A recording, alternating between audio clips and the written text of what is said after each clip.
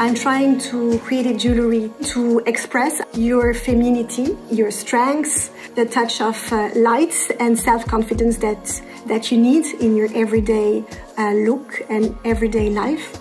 Doesn't matter what is your background, doesn't matter where you grew up, your upbringing, you always have the power inside of you to change things around and create something um, for yourself.